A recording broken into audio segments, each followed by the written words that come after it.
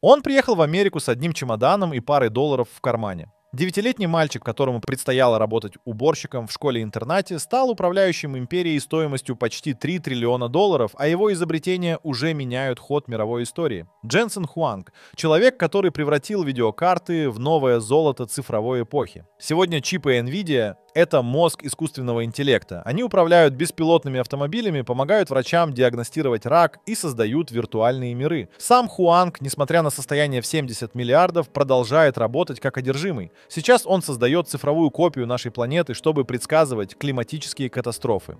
Критики снова сомневаются, но Хуанг уже привык к этому. Его жизнь — это доказательство того, что упорство и вера в невозможное могут изменить мир.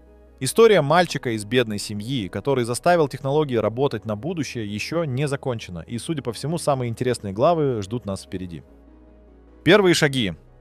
Ранние годы будущего основателя NVIDIA — это удивительная история о силе духа.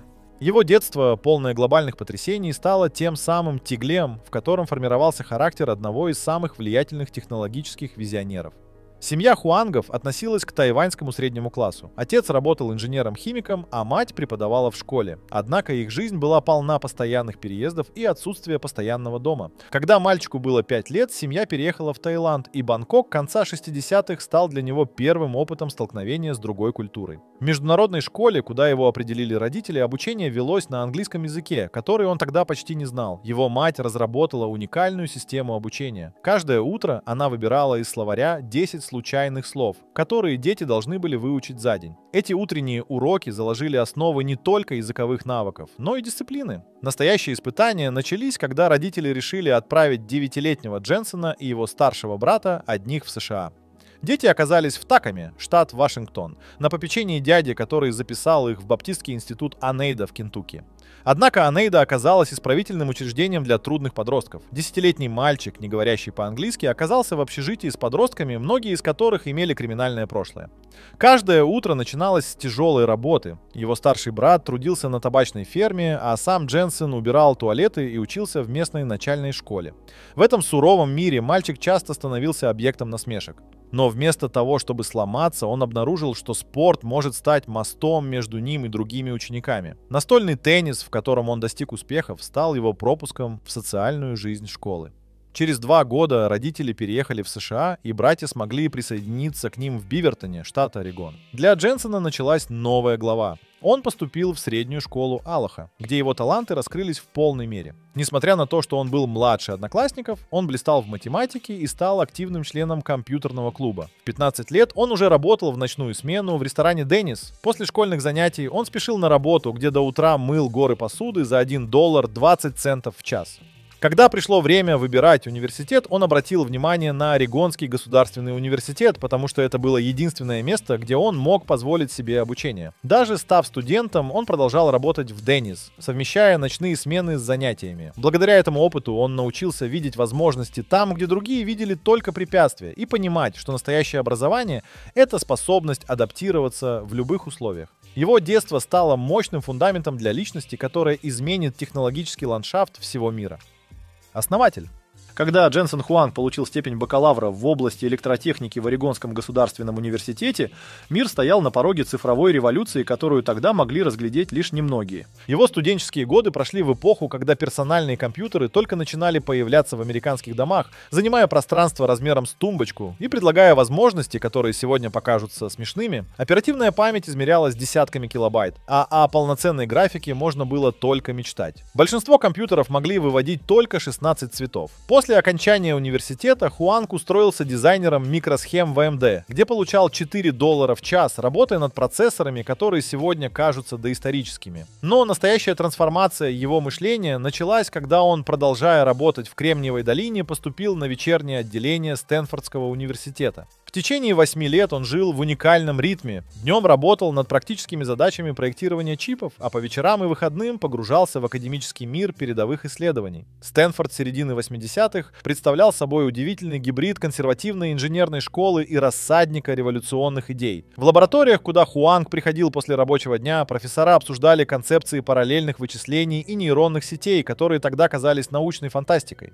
Между тем, на его основной работе коллеги сосредотачивались на увеличении тактики тактовой частоты процессоров, считая графические ускорители дорогостоящей игрушкой для военных и научных лабораторий. Этот период двойной жизни сформировал уникальную перспективу Хуанга. Работая над реальными чипами днем, он видел, как промышленность уперлась в технологические ограничения традиционных подходов а по вечерам в Стэнфорде узнавал о теоретических разработках, которые могли эти ограничения преодолеть. Его дипломная работа уже выдавала общие контуры архитектуры, которая через несколько лет воплотится в первых графических процессорах NVIDIA. Особенно показательной была разница в подходах к проблеме вычислений. В корпоративной среде доминировала идея, что будущее за увеличением тактовой частоты, если процессор работает на частоте 10 МГц, нужно добиться 20. Но в Стэнфорде Хуанг познакомился с альтернативным подходом. Вместо того, чтобы заставлять один процессор работать быстрее, можно использовать множество простых процессоров, работающих параллельно. Эта идея, которая тогда казалась экзотической, позже станет основой революции микропроцессоров.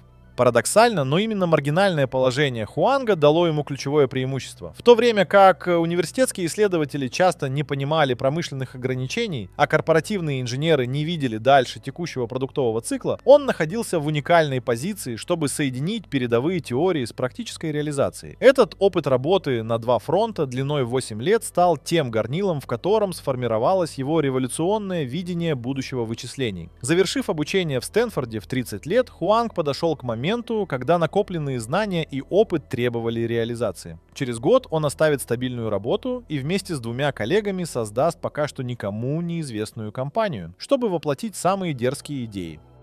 Провал и триумф.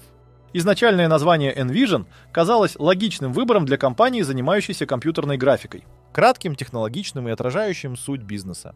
Однако во время одной из вечерних встреч в их неофициальном офисе за угловым столиком в закусочной Деннис Хуанг внес предложение изменить название на NVIDIA, происходящим от латинского слова, означающего «зависть». Пусть конкуренты зеленеют от зависти. Таков был смысл переименования. Никто из них тогда не мог представить, что через три десятилетия это имя будет ассоциироваться не просто с успехом, а с полной трансформацией индустрии вычислений.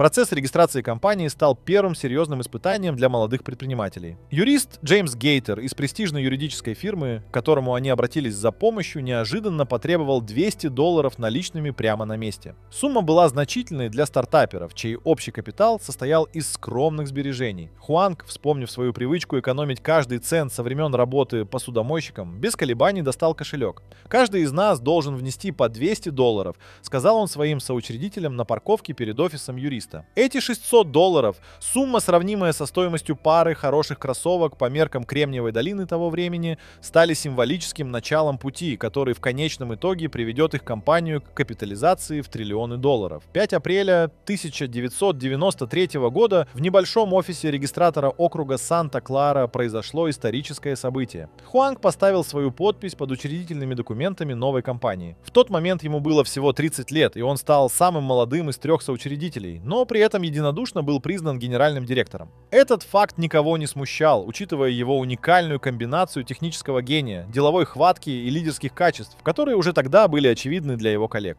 Первые серьезные инвестиции в компанию пришли, казалось бы, неожиданно, но за этим везением стояли месяцы напряженной работы и построения отношений. Хуанг, поддерживавший теплые профессиональные отношения с бывшим работодателем, сумел заинтересовать своим видением генерального директора компании Уилфреда Корригана. Впечатленный настойчивостью и ясностью мышления молодого предпринимателя, Корриган организовал для него встречу с Доном Валентайном, известным венчурным инвестором, стоявшим у истоков таких компаний, как Apple, Cisco и Oracle. Решающая презентация состоялась в просторном конференц-зале на Сан-Хилл-Роуд с панорамным видом на Стэнфордский университет. То самое место, где Хуан когда-то учился по вечерам, совмещая работу и тяжелую учебу. Трехчасовая встреча стала переломным моментом. Валентайн, известный своей почти сверхъестественной способностью распознавать истинные таланты, увидел в молодом иммигранте ту самую искру, которая отличает великих предпринимателей от просто удачливых бизнесменов. Его инвестиции составили в общей сложности 2 миллиона долларов. По меркам большого бизнеса сумма, достаточная для того, чтобы нанять первых 12 сотрудников и арендовать скромный офис площадью 800 квадратных футов в деловом центре Санта-Клары. Однако путь к настоящему успеху оказался гораздо более тернистым, чем могли представить себе основатели.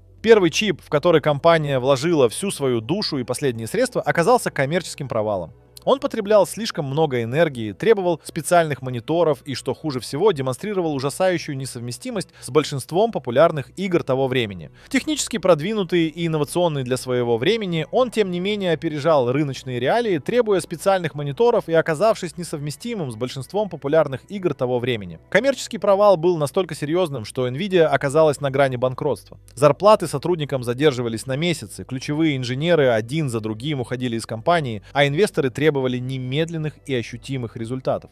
Но именно в этот критический момент проявилась главная черта характера Хуанга. Его уникальная способность извлекать уроки из ошибок и превращать поражения в трамплины для будущих побед. Ему стало очевидно, что недостаточно просто создавать хорошие продукты. Нужно формировать будущее всей индустрии. Этот принцип, выстраданный в самые темные дни компании, когда банковский счет опускался ниже 100 тысяч долларов, а кредиторы стучались в дверь, впоследствии стал неотъемлемой частью NVIDIA, определяя ее подход к инновациям на десятилетия вперед. Переломный момент. Весной 1996 года начались испытания первых тестовых образцов нового чипа Riva 128. Результаты оказались поразительными. По ключевым параметрам новый чип в 4 раза превосходил конкурентов. Эта цифра была настолько невероятной, что команда даже усомнилась в точности измерений. Однако повторные тесты подтвердили, компания Nvidia действительно совершила невозможное. Январская презентация Riva 128 стала триумфом для всей команды. Компьютерные издания с восторгом писали о революционной архитектуре чипа и его потрясающей производительности. Но вместо того, чтобы праздновать, господин Хуанг уже через неделю собрал сотрудников на новое совещание. Он объявил, что они должны поставить перед собой еще более амбициозные цели. Разработка GeForce 256 началась в канун нового 1999 года. Дженсен Хуанг поставил перед командой, казалось бы, невозможную задачу. Разработать принципиально новую архитектуру за 12 месяцев, которая превзойдет их же творение как минимум в два раза. Эта зима стала для команды NVIDIA временем беспрецедентного напряжения. Хуанг вел практику ночных вахт, Дважды в неделю ключевые разработчики оставались в офисе до рассвета, обсуждая архитектурные решения при свете настольных ламп. Особое внимание уделялось новой системе шейдеров, которая должна была кардинально изменить подход к рендерингу графики. Но уже весной проект столкнулся с серьезным кризисом. Первые тестовые образцы демонстрировали нестабильность при высоких нагрузках. Хуанг принял решение, шокировавшее совет директоров, остановить все другие проекты и бросить все ресурсы на решение проблемы. Течение 72 часов непрерывной работы команда перепробовала более 20 различных конфигураций. Решения нашли буквально за 12 часов до запланированной отправки образцов производителям. Крошечная модификация в схеме питания стабилизировала работу чипа. Технические характеристики GeForce 256 поражали воображение. 4 конвейера обработки пикселей, поддержка 128 бит цвета, невероятная для того времени производительность в 480 миллионов пикселей в секунду. Но настоящей революцией стал принципиально новый подход. Чип брал на себя функции, которые ранее выполнял центральный процессор, освобождая его для других задач. Реакция рынка превзошла самые смелые ожидания. Течение первого месяца после презентации Nvidia получила заказы на более чем 1 миллион чипов. Акции компании, торговавшиеся в январе по 20 долларов, к концу года достигли отметки в 110 долларов. Но самым важным стало признание со стороны игровых студий. Разработчики массово начали оптимизировать свои продукты под архитектуру Nvidia, видя в ней будущее индустрии. Этот успех сделал Nvidia лидером рынка и перевернул саму парадигму компьютерной графики. Хуанг, начинавший с 600 долларов в кармане и столиков закусочной, доказал, доказал, что настоящие технологические революции рождаются не в корпоративных лабораториях гигантов, а в умах тех, кто осмеливается мыслить иначе. Наследие. NVIDIA сегодня — это архитектор цифровой реальности. Их процессоры стали мозгом искусственного интеллекта, двигателем научных открытий и мостом в метавселенные. Дженсен Хуанг, мальчик-иммигрант, когда-то мывший посуду в этой самой сети закусочных, теперь стоит у руля одной из самых ценных компаний мира — его личное состояние перевалило за 90 миллиардов долларов, но вы никогда не увидите его на гламурных вечеринках Кремниевой долины. Вместо этого он предпочитает проводить ночи в лабораториях, обсуждая с инженерами последние технические решения за чашкой крепкого кофе. Его скромность стала легендарной. Тот же самый Audi, те же джинсы и черная кожаная куртка, та же страсть к технологиям, что и 30 лет назад. История успеха NVIDIA читается как технологическая сага нашего времени. Начав с графических чипов для видеоигр, компания сумела разглядеть будущее, когда другие видели лишь нишевый продукт. Сегодня их процессоры — это золото цифровой эпохи, разлетающиеся по дата-центрам всего мира быстрее, чем самые оптимистичные прогнозы. Суперкомпьютеры на архитектуре NVIDIA моделируют климатические изменения и открывают новые лекарства, а генеративный ИИ, захвативший воображение человечества, работает на их чипах. Но истинное наследие Хуанга не в деньгах или технологиях. Оно в уникальной культуре, которую он создал. NVIDIA остается компанией инженеров для инженеров, где техническая глубина ценится выше маркетинговых уловок, где смелые идеи получают шанс, даже если нарушают все общепринятые нормы. Хуанг до сих пор лично проводит технические собеседования для ключевых позиций, считая, что никакой HR-специалист не сможет оценить страсть к технологиям так, как это сделает он сам. Вместо показных пожертвований Хуанг и его супруга Лори создают образовательные центры, где студенты из обычных семей получают шанс прикоснуться к технологиям будущего. Их стипендиальные программы уже изменили жизни сотен молодых людей, многие из которых теперь работают в NVIDIA, продолжая цикл инноваций. Будущее, которое видит Хуанг для своей компании, звучит звучит как научная фантастика. Он говорит о квантовых вычислениях, которые перевернут наши представления о возможном, о цифровых мирах, неотличимых от реальности, об искусственном интеллекте, который станет партнером человечества в решении глобальных проблем. И судя по тому, как многие его безумные прогнозы прошлого стали реальностью, не стоит наивно сомневаться в этом видении. Когда-то Nvidia начинала с 600 долларов в кармане и мечты сделать видеоигры чуть красивее. Сегодня она определяет будущее целых отраслей, а ее основатель, сохранивший страсть к технологиям и скромность иммигранта, доказал, что настоящий успех измеряется не цифрами на банковском счете, а способностью менять мир к лучшему. История Дженсона Хуанга — это история нашего времени, написанная кодом, кремнием и невероятной верой в то, что будущее можно создать своими руками.